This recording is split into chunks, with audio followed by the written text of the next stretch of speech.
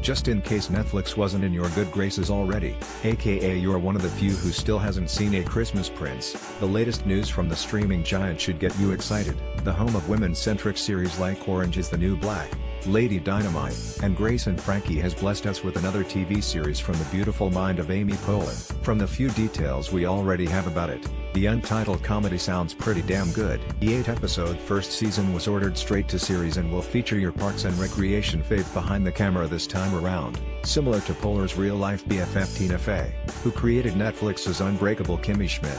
Poehler co-created the show with Leslie Headland and OITNB's Natasha Lyonne, the latter of whom is also set to star. According to Entertainment Weekly, Lyonne will play Nadia, a young woman on her journey as the guest of honor at a seemingly inescapable party one night in New York City. Who hasn't been there?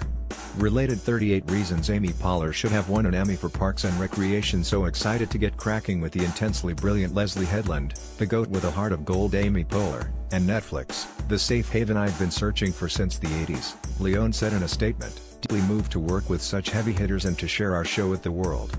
Now, without further ado, please appreciate this gift that accurately sums up how I feel